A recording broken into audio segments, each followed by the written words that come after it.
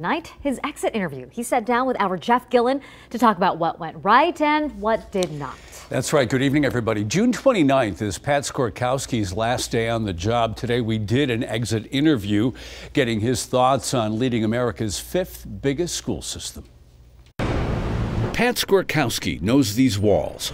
He spent three and a half years at Thurman White Middle School as its principal, one stop on the way to the district's top job. Never would I have imagined when I started 30 years ago as a first grade teacher that I would end up in this role. That was never a goal. In 2013, the board chose this district lifer to be its leader. In five years, what a ride. Ask him today his biggest success. Graduation rate. There's so many achievement gains that we've had over the past five years.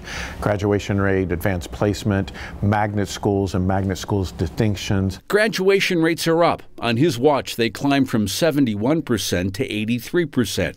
That's his good news. Ask him his bad news. I do think that the budget issues over the past five years have been the biggest challenge. Just four days ago, the school board approved a new budget, which had to plug a $68 million deficit caused by losing an arbitration ruling on teacher raises.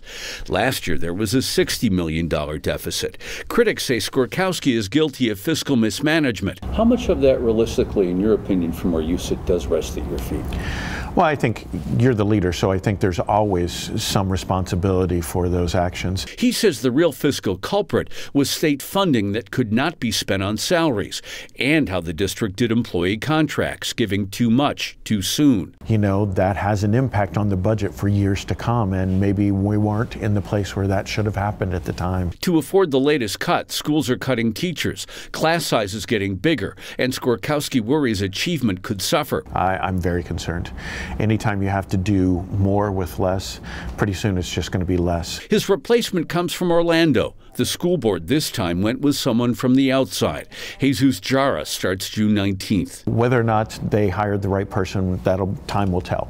Um, I think he has the, the skills and, and the ability to take this district to the next level.